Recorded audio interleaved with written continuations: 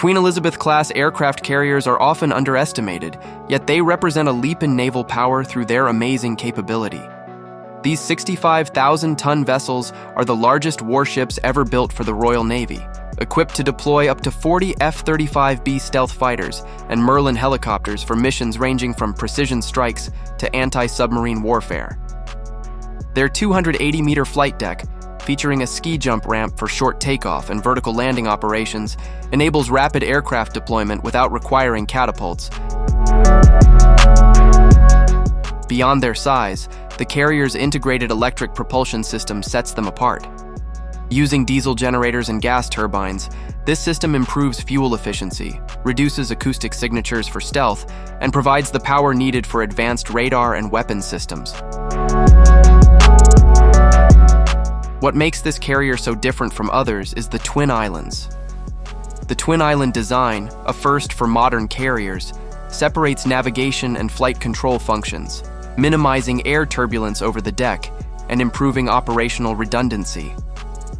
This configuration also distributes critical systems across the ship, enhancing survivability during combat. The Queen Elizabeth class boasts an unparalleled sortie generation rate, capable of launching 72 fast jet sorties daily, with surge capacity exceeding 110 missions in high-intensity scenarios. This surpasses the output of many larger carriers, thanks to streamlined deck operations and automated ammunition handling systems. Advanced sensors like the Artisan 3D radar track up to 1,000 targets simultaneously, while the Sampson radar provides ballistic missile defense enabling the carriers to dominate air and sea battle spaces. Defensively, the carriers are fortified with Phalanx CIWS, 30mm automated guns, and layered electronic warfare suites to counter missiles, drones, and surface threats. Their distributed power systems and compartmentalized machinery spaces reduce vulnerability to critical damage, ensuring operational continuity even under attack.